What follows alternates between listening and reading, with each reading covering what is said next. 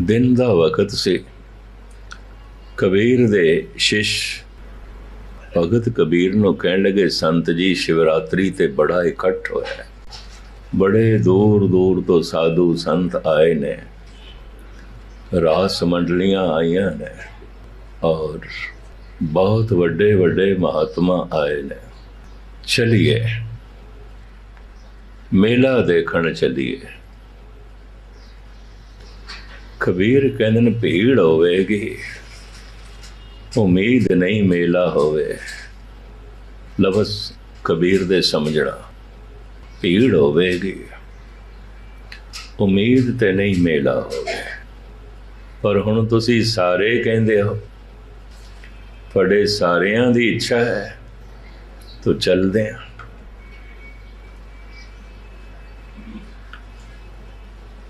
ਨਾਲ ਆਪਣੇ ਚੇਲਿਆਂ ਦੇ ਕਬੀਰ ਚੱਲ ਪਏ। ਜਿੱਥੇ ਇਹ ਬਹੁਤ ਵੱਡੀ ਭੀੜ ਜਿਹਨੂੰ ਇਹ ਮੇਲਾ ਕਹਿੰਦੇ ਸਨ। ਚੇਲੇ ਖੁਸ਼ ਹੋ ਗਏ ਵੀ ਆ ਗਿਆ ਮੇਲੇ ਦੇ ਵਿੱਚ। ਕਿਧਰੇ ਦੰਗਲ ਪੈ ਰਹੇ ਨੇ। ਕਿਧਰੇ ਕਟਪੁਤਲੀਆਂ ਦਾ ਨਾਚ ਹੋ ਰਿਹਾ ਕਿਧਰੇ ਰਾਸ ਧਾਰੀਏ ਰਾਸ ਪਾ ਰਹੇ ਨੇ। ਪਰ ਕਬੀਰ ਰੁਕਦੇ ਨਹੀਂ ਨੇ।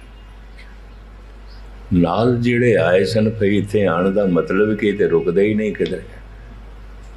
ਨਾ ਰਾਸ ਵੇਖਦੇ ਨੇ, ਨਾ ਕਟਪੁਤਲੀਆਂ ਦਾ ਨਾਚ ਵੇਖਦੇ ਨੇ।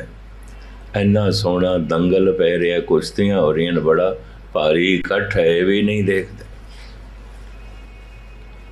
ਚੱਲਦੇ ਗਏ, ਤਰ੍ਹਾਂ ਤਰ੍ਹਾਂ ਦੇ ਪਕਵਾਨ ਬਣ ਰਹੇ ਨੇ। ਭੰਡਾਰੇ ਚੱਲ ਰਹੇ ਨੇ। ਰਾਸਾਂ ਪੈ ਰਹੀਆਂ ਨੇ ਕਟਪੁਤਲੀਆਂ ਦਾ ਨਿਰਤ ਹੋ ਰਿਹਾ ਹੈ। ਕਬੀਰ ਚੱਲਦੇ ਗਏ। ਕਿਸੇ ਵੀ ਦ੍ਰਿਸ਼ ਨੇ, ਕਿਸੇ ਵੀ ਕੌਤਕ ਨੇ ਕਬੀਰ ਦੇ ਕਦਮਾਂ ਨੂੰ ਰੋਕਿਆ ਨਹੀਂ। ਭੀੜ ਦੇ ਵਿੱਚੋਂ ਨਿਕਲ ਗਏ। ਚੇਲੇ ਆਪਸ ਦੇ ਵਿੱਚ ਗੱਲ ਕਰਦੇ ਨੇ, ਮੇਲਾ ਤੇ ਪਿੱਛੇ ਛੱਡ ਆਏ ਨੇ ਸੰਤ ਜੀ। ਪਤਾ ਨਹੀਂ ਕਿੱਥੇ ਜਾਂਦੇ ਪਏ ਮੇਲਾ ਤੇ ਪਿੱਛੇ। ਦੂਰ ਕੋਈ ਇੱਕ ਫਰਲਾਂਗ ਦੀ ਦੂਰੀ ਤੇ। ਗੰਗਾ ਦੇ ਤੱਟ ਤੇ ਇੱਕ ਮਸਤ ਅਭਿਆਸੀ ਬੈਠਾ ਹੋਇਆ ਸੀ RAM ਦੀ ਧੁਨ ਵਿੱਚ ਮਗਨ ਲਗਨ ਜੁੜਿਆ ਹੋਇਆ। ਕਬੀਰ ਉਸ ਦੇ ਕੋਲ ਬੈਠ ਗਏ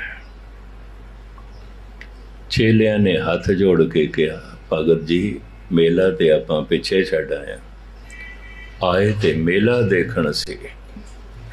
ਹੁਣ ਭਗਤ ਕਬੀਰ ਜੋ ਕੁਝ ਕਹਿੰਦੇ ਨੇ ਧਿਆਨ ਨਾਲ ਸੁਣਨਾ ਸ਼ਲੋਕਾਂ 'ਚ ਦਰਜ ਹੈ। ਕਬੀਰ, ਜੈ ਜੈ ਹਉ ਫੇਰੋਂ ਕੌਤਕ ਠਾਏ ਠਾਏ, ਮੇਲਾ ਨਹੀਂ ਸੀ ਤਮਾਸ਼ੇ ਕੌਤਕ ਸਨ। ਉਹ ਸਭ ਕੌਤਕ ਹੈ। ਕਬੀਰ, ਜੈ ਜੈ ਹਉ ਫੇਰੋਂ ਕੌਤਕ ਠਾਏ ਠਾਏ, ਇੱਕ RAM ਸਨੇਹੀ ਬਾਹਰਾ, ਉਜੜ ਮੇਰੇ ਭਾਈ ਮੇਲਾ ਇੱਥੇ ਹੈ ਕਿ ਜੋ RAM ਦਾ ਪਿਆਰਾ ਬੈਠਾ ਹੈ, ਉਹ ਤੇ ਸਾਰੀ ਦੀ ਸਾਰੀ ਉਜਾੜ ਹੈ। ਕੁਝ ਵੀ ਨਹੀਂ ਕੁਝ ਵੀ ਨਹੀਂ। ਇੱਥੇ ਮੇਲਾ ਹੈ। ਸੁਰਤ ਸ਼ਬਦ ਨਾਲ ਜੁੜ ਗਈ ਹੈ ਮੇਲਾ। ਸਿੱਖ ਗੁਰੂ ਨਾਲ ਜੁੜ ਜਾਏ ਮੇਲਾ ਮੇਲਾ ਸ਼ਬਦ ਮਿਲਾਪ ਤੋਂ ਬਣਿਆ। ਹੈ ਜਿੱਥੇ ਮਿਲਾਪ ਹੀ ਕੋਈ ਨਹੀਂ, ਮੇਲਾ ਕਿਹੜੀ ਗੱਲ ਦਾ? ਕਬੀਰ ਜੈ ਜੈ ਹਾਂ ਫੇਰਾ ਕਲ ਤੱਕ ਠਾਏ ਠਾਏ, ਇਕ RAM ਸਨੇਹੀ ਬਾਹਰਾ ਉਜੜ ਮੇਰੇ ਭਾਏ, ਉਜਾੜੀ ਉਜਾੜੇ। ਤਾਂ ਮੈਂ ਅਰਜ਼ ਕਰਾਂ, ਬਾਬਾ ਸ੍ਰੀ ਚੰਦ ਜਨਮ ਤੋਂ ਉਦਾਸ ਬਿਰਤੀ ਦੇ ਸਨ, ਆਪਣੇ ਕੋਲ ਰਹਿਣਾ। ਕਿਸੇ ਦੇ ਨਾਲ ਬੈਠਣਾ ਹੀ ਨਹੀਂ। ਕਿਸੇ ਕੋਲ ਬੈਠਣਾ ਚੰਗਾ ਹੀ ਨਹੀਂ ਲੱਗਦਾ ਸੀ। ਆਪਣੇ ਨਾਲ ਬੈਠ। ਇਸ ਬਿਰਤੀ ਨੂੰ ਉਦਾਸ ਕਹਿੰਦੇ ਨੇ, ਬਾਅਦ ਵਿੱਚ ਬਾਬਾ ਸ੍ਰੀ ਚੰਦ ਨੇ ਜੋ ਪੰਥ ਚਲਾਇਆ, ਉਹਨੂੰ ਵੀ ਉਦਾਸੀ ਕਹਿੰਦੇ। ਲੇਕਿਨ ਜੋਗੀ ਗੁਰੂ ਨਾਨਕ ਦੇਵ ਜੀ ਮਹਾਰਾਜ ਨੂੰ ਵੀ ਉਦਾਸੀ ਕਹਿੰਦੇ ਨੇ। ਕਿਸ ਕਾਰਨ ਗ੍ਰਹਿ ਤਜੋ ਉਦਾਸੀ? ਕਿਸ ਕਾਰਨ? ਇਹ ਭੇਖ ਨਿਵਾਸੀ ਕਿਸ ਵਖਰ ਕੇ ਤੁਮ ਵਣ ਜਾਰੇ? ਕਿਉਂ ਕਰ ਸਾਥ ਲੰਘਾਓ ਪਾਰੇ? ਇਹ ਉਦਾਸੀ ਘਰ-ਬਾਰ ਛੱਡ ਕੇ ਪਰਮਣ ਕਰਦੇ ਫਿਰਦੇ ਹੋ ਕਿਉਂ? ਜਗਾ ਜਗਾ ਜਾ ਰਹੇ ਹੋ ਕਿਉਂ? ਕਹਿਣ ਤੋਂ ਮੇਰੀ ਮੁਰਾਦ ਹੈ, ਉਹਨਾਂ ਜੋਗੀਆਂ ਨੂੰ ਵੀ ਸਮਝ ਆਈ, ਇਹ ਤੇ ਉਦਾਸ ਬਿਰਤੀ ਦੇ ਪੁਰਸ਼ ਨੇ। ਉਦਾਸ ਕੌਣ ਆਉਂਦਾ ਹੈ? ਜੋ ਹਰ ਇੱਕ ਤੋਂ ਨਿਰਾਸ਼ ਆਉਂਦਾ ਹੈ, ਸੁੱਖਾਂ ਦੀ ਡੋਰੀ ਕਿਸੇ ਨਾਲ ਨਹੀਂ ਜੋੜਦਾ। ਠੀਕ ਹੈ, ਸੰਬੰਧ ਨੇ। ਨਾਲ ਰਹਿਣਾ ਸੁੱਖ ਨਹੀਂ ਮਿਲ ਸਕਦਾ। ਲੋੜਾਂ ਦੀ ਪੂਰਤੀ ਹੋਵੇ। ਸਮਾਜਿਕ ਪ੍ਰਾਣੀ ਹੈ ਮਨੁੱਖ।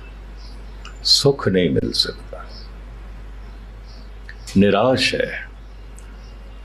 ਨਿਰਾਸ਼ ਮਨੁੱਖ ਹੀ ਉਦਾਸ ਹੁੰਦਾ ਹੈ ਤੇ ਜਿਹੜਾ ਉਦਾਸ ਹੋ ਜਾਂਦਾ ਹੈ, ਆਪਣੇ ਕੋਲ ਆਸਣ ਲਾ ਲੈਂਦਾ ਹੈ, ਸੰਨਿਆਸ ਦਾ ਜਨਮ ਉੱਥੇ ਹੀ ਹੁੰਦਾ ਹੈ। ਸੁਨ ਵਿੱਚ ਆਸਣ, ਰੇ ਮਨ, ਐਸੋ ਕਰ ਸੰਨਿਆਸਾ। ਬਨ ਸੇ ਸਦਨ ਸਭੈ ਕਰ ਸਮਝੋ, ਮਨ ਹੀ ਮਾਹੇ ਉਦਾਸਾ। ਹੁਣ ਮੈਂ ਦੁਹਰਾਵਾਂ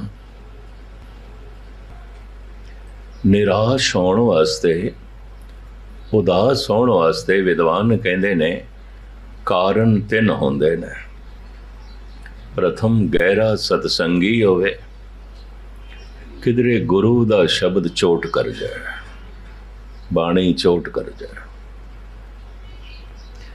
ਐਸੀ ਚੋਟ ਕਰ ਜਾਏ ਜਿਵੇਂ ਤੀਰ ਲੱਗਦਾ ਹੈ, ਸੀਨੇ ਨੂੰ ਵਿਨ ਛੱਡਦਾ ਹੈ। ਇਸ ਤਰ੍ਹਾਂ ਹੀ ਸ਼ਬਦ ਦਾ ਤੀਰ ਮਨ ਨੂੰ ਲਗੇ ਤੇ ਮਨ ਨੂੰ ਵਿਨ ਦੇਵੇ। ਗੁਰਬਾਣੀ ਚ ਆਉਂਦਾ ਵੀ ਹੈ। ਗੂੰਗਾ ਹੋਵਾ ਬਾਵਰਾ ਬਹਿਰਾ ਹੋਵਾ ਕਾਨ, ਪਾਉ ਤੇ ਪਿੰਗਲ ਭਇਆ ਮਾਰਿਆ ਸਤਗੁਰ ਬਾਣ। ਐਸਾ ਗੁਰੂ ਦੀ ਬਾਣੀ ਦਾ ਬਾਣ ਲੱਗਿਆ ਸਾਰੀ ਭਟਕਣਾ ਹੀ ਮਿਟ ਗਈ ਹੈ। ਸ਼ਬਦ ਦਾ ਤੀਰ ਲੱਗਦਿਆਂ ਭਟਕਣਾ ਮਿਟ ਜਾਏਗੀ, ਮਨੁੱਖ ਹਰ ਇੱਕ ਤੋਂ ਨਿਰਾਸ਼ ਹੋ ਜਾਏਗਾ। ਉਦਾਸ ਹੋ ਜਾਏਗਾ। ਵਾਹਿਗੁਰੂ ਵਾਹਿਗੁਰੂ ਵਾਹਿਗੁਰੂ ਵਾਹਿਗੁਰੂ